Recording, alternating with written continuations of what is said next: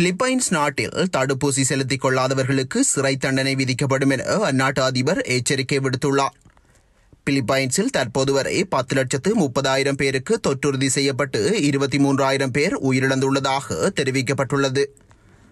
இதனையடுத்து அங்கு நான்கு கோடி டோஸ் பைசர் தடுப்பூசி கொள்முதல் செய்யப்பட்டு பொதுமக்களுக்கு செலுத்த ஏற்பாடு செய்யப்பட்டுள்ளது. இந்த நிலையில் அங்கு ஒட்டுமொத்தமாக பதினொரு கோடி பேர் கொண்ட பிலிப்பைன்ஸ் மக்கள் தொகையில் வெறும் இருபத்தி ஒரு லட்சம் பேர் மட்டுமே தடுப்பூசி செலுத்திக் கொண்டதாக தெரிவிக்கப்பட்டுள்ளது. இதனை அடுத்து அதிபர் ரோட்ரிகோ நாட்டில் தடுப்பூசி செலுத்திக் கொள்ள மறுக்கும் மக்களுக்கு சிறை தண்டனை விதிக்கப்படும் என்று அதிரடி அறிவிப்பை வெளியிட்டுள்ளார்.